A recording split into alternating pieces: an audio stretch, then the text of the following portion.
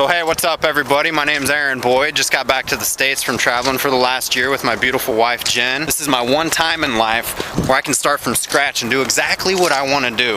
And what I want to do is work for you. I got a journalism degree. I live in Denver, Colorado. I'm coming to work for you guys. We're going to create a huge following.